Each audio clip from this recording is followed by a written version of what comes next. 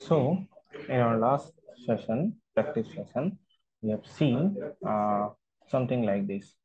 We were creating a table using this Harish, and if I put the address as Hyderabad, I was getting the uh, it displayed in the table below. Okay, let me add more like Rajesh. Let's say Chennai. It is getting added and more. Let's say Raju. mm, Pune. I'm able to add the students. Okay. Now I can even, if I don't want any one of them, I can delete it. Okay. So this was working fine.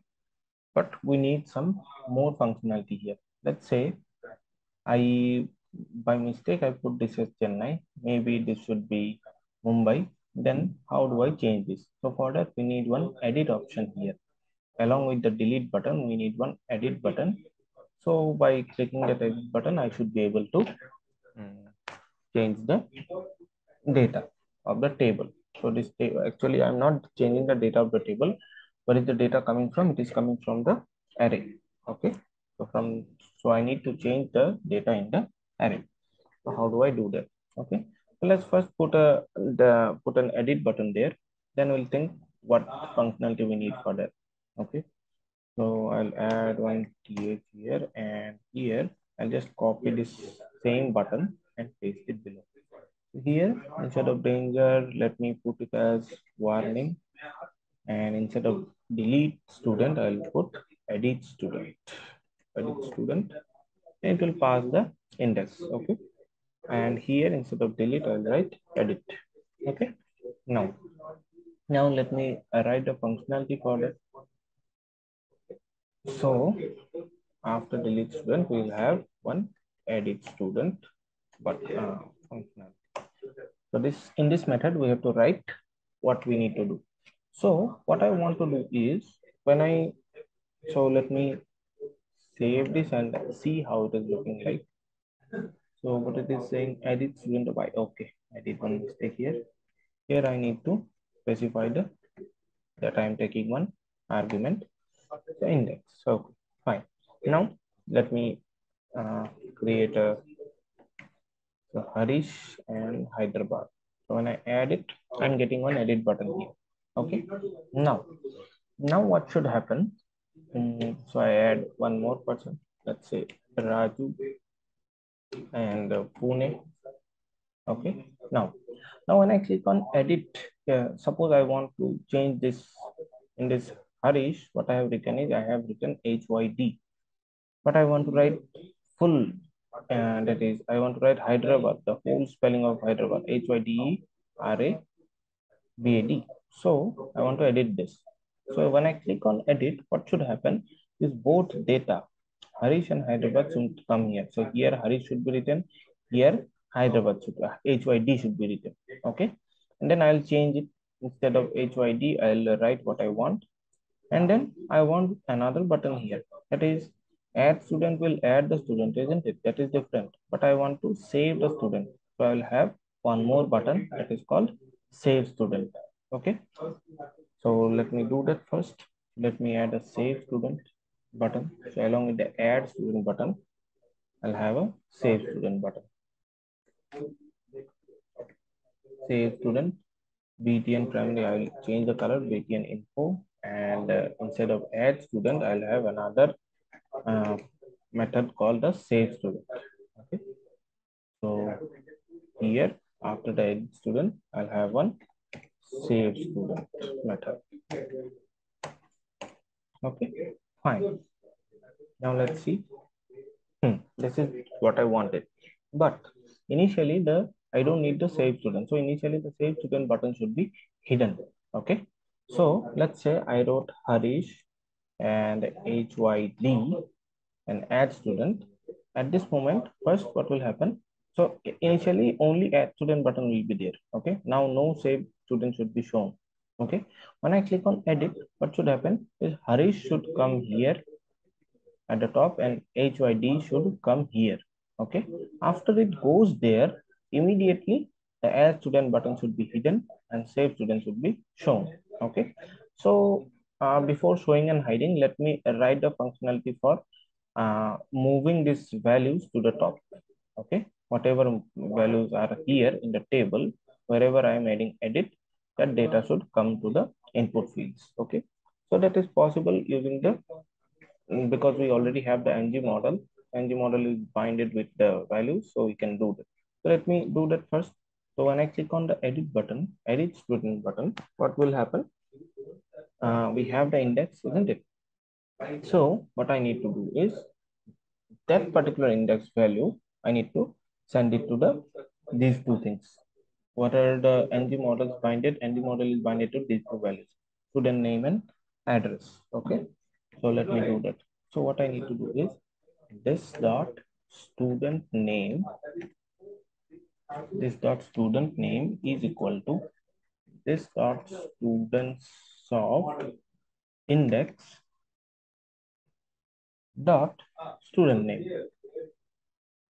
student name okay this is what is coming from the object and in the same way this dot uh, address which is the second uh, ng model uh, binding this dot address should be equal to this dot students of index dot student address, whatever is inside the object. Okay, like this. So what is happening here? Whenever I'm clicking on the edit button, that particular index is passed to this method and the student name, that is the ng model value, which is binded here.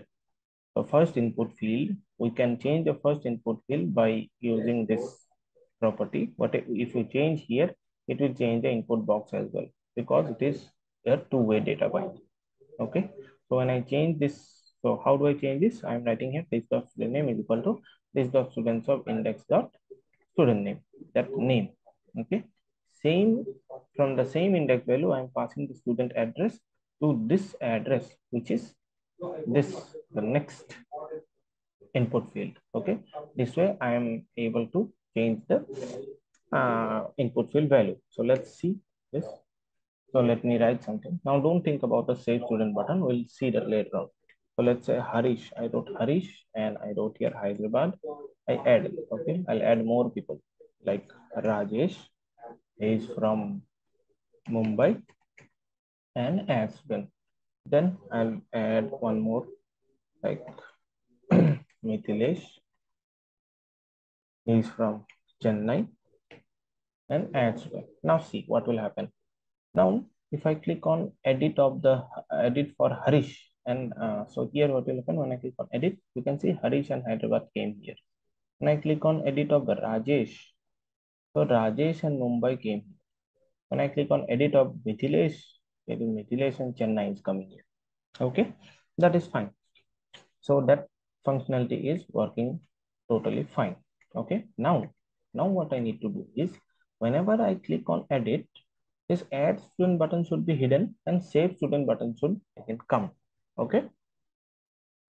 And initially what should happen the add student button should only be shown not the save student button. So save student button will only be displayed when i click on edit button. Okay? So what do what do i do for that? So for that we'll be using the ngif directive. Okay? Ngif is a structural directive that helps us to show or hide uh, elements or uh, elements in our html according to a particular condition okay so we'll create a condition so conditions are nothing but um, some boolean flags okay so we'll put a boolean flag here so let's say we'll name it as show save button okay so save button is a boolean flag which we will use to show or hide the buttons. Okay. So initially it is false. So what will happen? So initially I want to show only the add student button, isn't it? So if the show save button is false, only then I need to show the add student button, isn't it?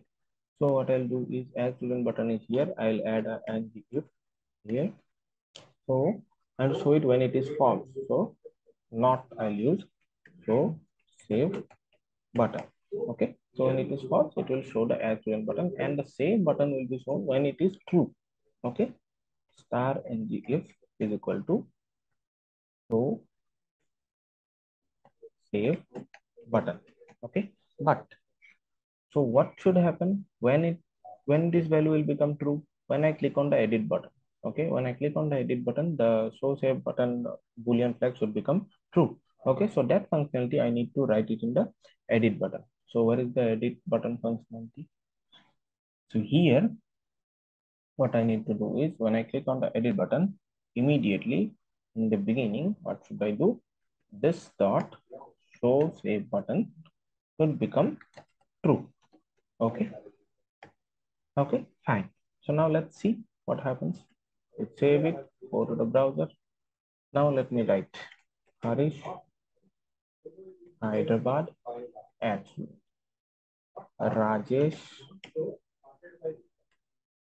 Chennai ads. Now let's see. Now when I click on edit of Harish, Harish is coming here and add student button is hidden and save student is coming. Okay, so initially only the add student button is there, so so uh, that save button is not there. Okay, let's see this. When I click on edit, add student is hidden, save student is coming. Okay, fine. Now that's fine. Now, now what we need to do is now the next thing we need to do is um, when I click on edit, these things are coming here. That is fine. Now I want to change it. I Hyderabad. Okay, I have edited and Hari instead of Harish, I want to write Harish. And now when I click on save student, what should happen? This data should be updated in the table. Okay, so for that, what do I do?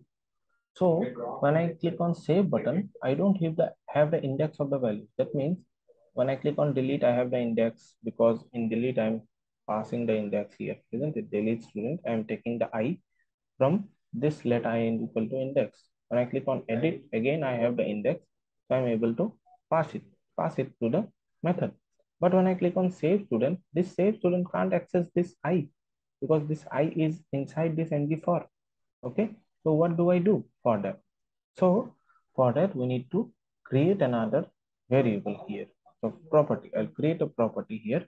Let's say current index. Okay, current index is of type. I'll put it as any. Okay, current index is of type any. Now, when I click on the edit button, immediately that current index should be set. Okay, because when I click on edit student, I have the index here, isn't it? So what I'll do is in the edit student, I'll set the this dot current index is equal to index. Now I have the uh, index value in the current index. So that index I can use it in our save functionality. Okay. So let me write the save functionality. What do I do? In save functionality, I create one object. Let student is equal to this. And uh, same thing I need to use whatever I use for the add student. Otherwise, there will be again conflict. So this dot student name and this dot address. So what is this dot student name? This is the first input value and address is the uh, second input box value. Okay, so that is done. Now we need to push this object to the array in that particular index, wherever that is there. So this dot students students of students of what? The present index is current index. So we have it in our this dot current index. This dot current index is equal to what? This whole student. Okay. So we are not pushing it actually, we are updating it at that particular index. Okay. Okay. After doing this, again, the save button should be hidden and again that add student button should come. Okay. So I'll just uh, change the flag. This dot show save button is equal to, again, I'll make it false. Okay. Now let's save this, go to the browser and let's check. I write Harish Hyderabad add. Then Rajesh Pune add. Then some more name like Priya Mumbai add. Okay. Now let's see whether our edit is working or not. So edit, it is working fine. Everything is working fine. Okay. Now I want to change this Harish HYD to Hyderabad. Okay, I'll click on edit Harish and HYD has come. Or let me write the full address, Hyderabad, and I click on save. See, you can see here, HYD has changed to Hyderabad. Okay. Okay, that's fine. That's it. That's it for this example.